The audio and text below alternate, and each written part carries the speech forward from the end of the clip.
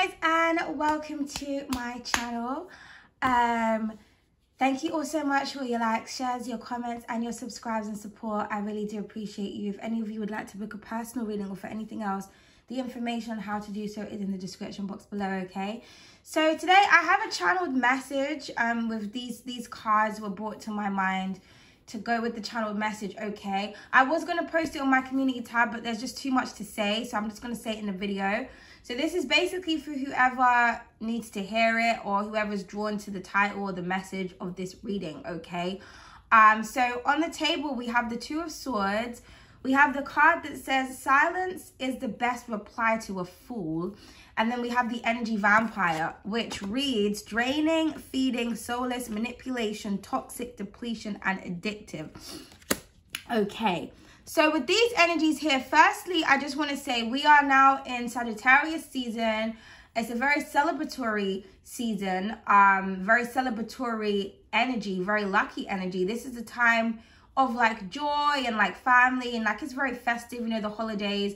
Regardless of whether or not you celebrate the holidays or not, because you know, if you look into the deep reasons of why most of these holidays were made. You wouldn't want to celebrate them. But you know what I mean? The Christmas spirit, the festive season, people are like with their families. Some people, um, you know, maybe it's a time where bad things could have happened around this time. And so then you get the Scrooges who kind of hate everything and hate the world and they hate the holidays. Okay. But whatever's going on, this is supposed to be a season of like prosperity, luck, expansion, and just optimism. Okay. So um, for some of you, you have energy vampires around you, especially if you're someone that is vibrating very high. A lot of the times, people who you know, are vibrating very high attract the darkness because the darkness is attracted to the light. And the people that are within the darkness, they always see themselves as divine or better than other people or this, that, and the third. But really, they have to seek the light in others in order to thrive or in order to kind of feel relevant. So these are people that have very low self-esteem. Now it's in the um, word low self-esteem. Anyone who has low self-esteem is operating from a low vibration. Therefore, they are not um, divine or they're not operating from a higher frequency. So they're not in their higher self. They're not following their higher purpose. They're not thinking um, with a higher state of mind. So these people are definitely going to try and bring you down to their energetic level because they're soulless. They need something to feed off of. This is how negative or low vibrational energy works, okay? So um, if you don't want to be around these types of energies or these types of people, the best way to kill a beast is to starve it. The best way to kill demons is to starve it. Don't feed these energies because they're parasites. They feed they feed off of um, anger. They feed off of misery. As they say, misery loves company, okay? So with the Two of Swords and the silence is the best reply to a fool, I feel like for some of you, you could be in two minds about whether or not you want to cuss somebody the fuck out. I feel like you really want to tell somebody about their low vibration or toxic ass self, but don't, okay? Don't lower your energy don't meet somebody at your level because that's what they want because they feed off of low vibrational energy. So all that's going to happen is you're going to say something, they're going to say something to you and it's going to be back and forth and then you're going to be basically giving this person power because that's the only way that this person or these people can thrive is through chaos okay so um and the people like this because you could be dealing with someone who's in denial about their own darkness and that's even worse because people who are aware of their darkness know their limits people who are not aware of their own destruction are not only a danger to themselves but other people around them because they don't know they don't know that they're bad or they don't know that they're in a low va- low vibration. So um they don't understand the towers that they're creating everywhere that they go. So um those people are the worst people to be around. Now this could be family this could be friends this could be a love interest. If you're around anybody that's in a low vibration, anybody that doesn't see the value in themselves, stay away from that person, okay? That person is miserable. They're going to bring you to a miserable, dark place. Um, and whatever darkness that somebody's going through, that is not your problem. You're not there to um, bring someone's shadow out to heal it. People need to heal themselves. People need to face their own shadows. I feel like a lot of people try to run away from their environment, try to run away from people, switch different partners, different places to avoid um, changing themselves, okay? Um, some of you as well may have seen the red flags. This is like, say if you're somebody who um, reads cards, excuse me, right? And you're pulling cards on a love interest and you keep getting the devil and the seven of swords. And every time you're like, you know, every time I pull cards on you, I get the devil. Well, I don't see the devil as a bad thing. Of course, they're going to say that to you. You know what I mean? If you're if you're pulling the devil when you're asking about somebody, um, that is that is um proof that somebody is operating from a very low toxic vibration. Do you understand what I'm trying to say? And they're trying to attach themselves to you in some type of way. Okay. And they're going to do this by trying to tell you what it is that you want to hear. You know what I mean? A lot of the time, that devil energy uses like money or, or lust or greed to kind of control you in some type of way. But they try to make you think that it's what you want when really they're planting those seeds so that they can attach themselves to you. Because I feel like somebody knows that they're going to a very dark place. They know that they don't have, um, I don't know. I feel like for some of you, I feel like someone's trying to escape their fate or their destiny. And the only way for them to do that is to attach themselves to somebody else who's got a good um, destiny or good fate. It's like somebody's trying to benefit off of your energy or off of your karma. Okay off of your fortune, whether it's spiritual fortune or actual, um, you know, physical fortune. But for a lot of you, I think it's spiritually. I think this is a spiritual thing.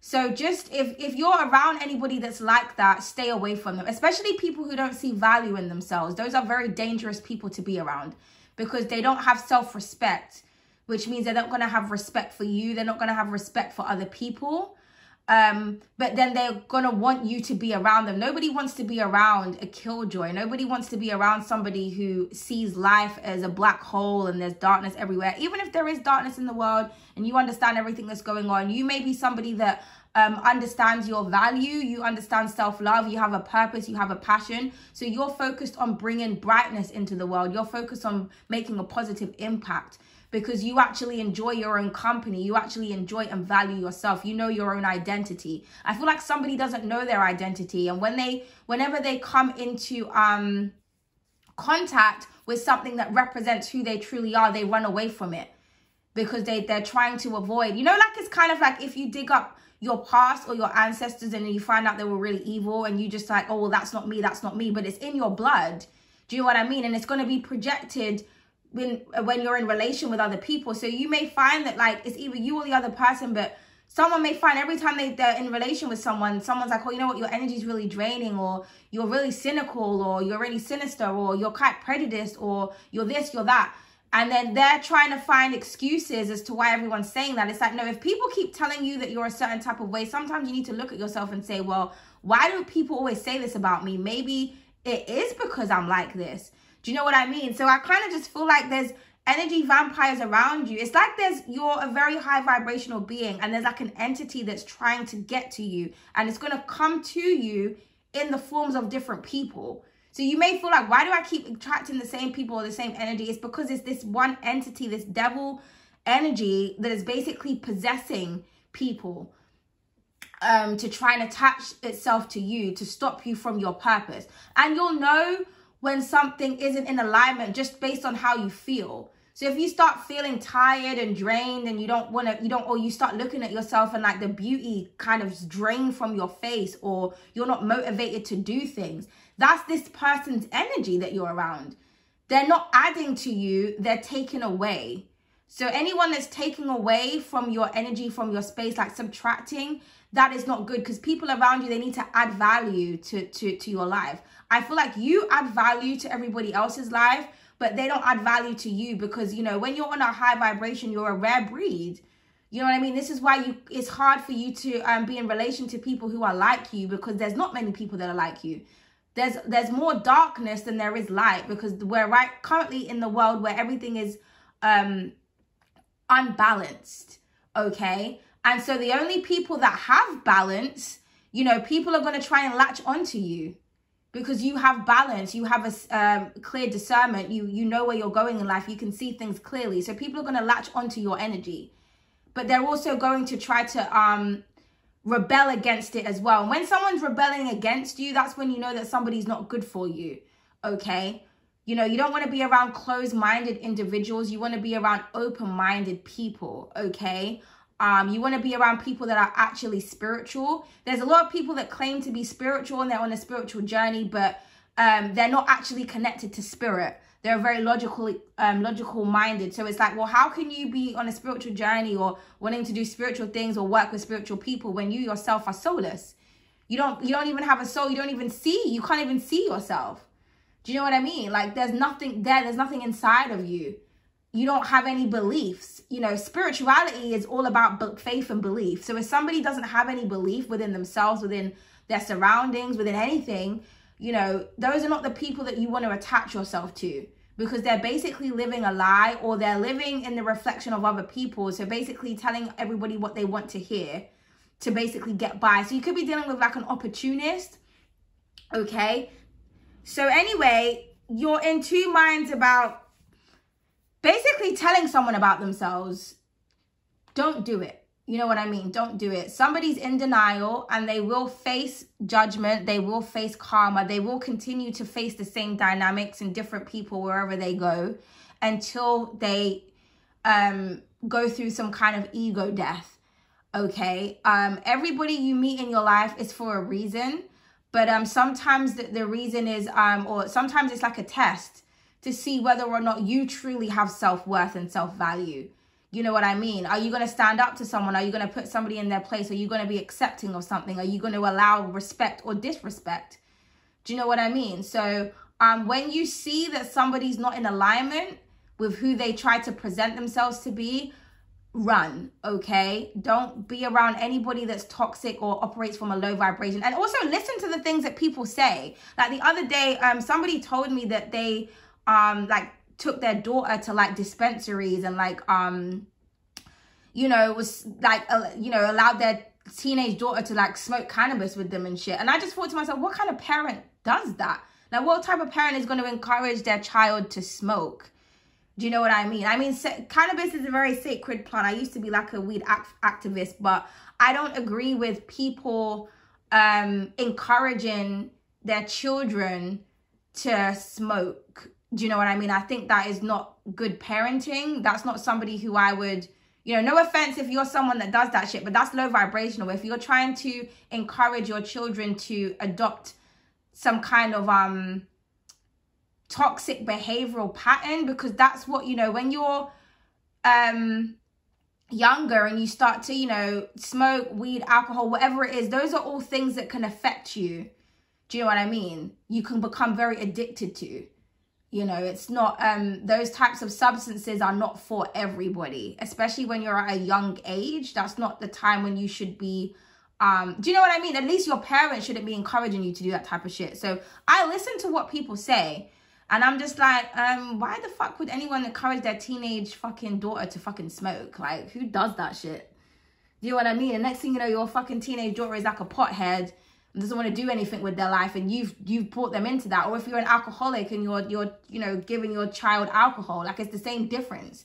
Do you know what i mean? So it's kind of like listen to to people like that. You just like um anyone who encourages anybody to do something um low vibrational or something that's going to keep them in a like a how can i say like a um that's going to take them out of a cleansed mindset, if you will, is a dangerous person to be around. Do you know what I mean? Um, you don't you don't want to be around people that um encourage that type of stuff. There's a difference between being a supportive and encouraging, okay? So someone does something and you know, you're like, okay, well you do you, that's on you. But if you're encouraging someone to do that type of shit, that's a bit like, okay, well, you know, um yeah so that was just an example but just you know you want to be um of sane mind and you know when you're putting certain things in your body it alters your your mind state it, it alters the way that you think and the way that you see things. Have you ever been around people that are always high all the time and then when they're not high they're like a demon they're like they're a really evil person?